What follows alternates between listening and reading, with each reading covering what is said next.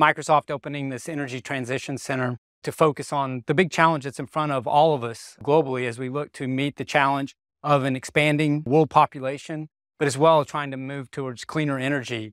And it's going to take all of us, technology included.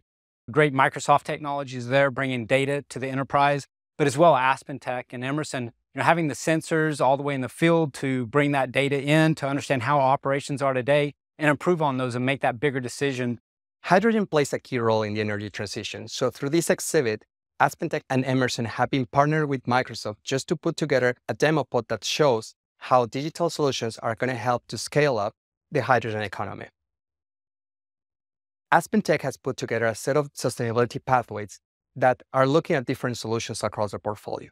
And for this specific demo, we're looking at the ones for hydrogen economy.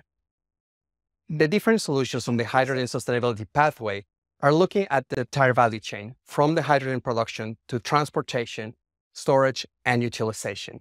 In this pathway, the different solutions are going to be helping to research and develop hydrogen innovation, as well as design and scale up and with project execution. The different solutions are going to be also looking at optimization in operations across the entire value chain through integrating renewables, through microgrids, optimizing the value chain with strategic planning, but also transportation and storage and looking at end use utilization of hydrogen.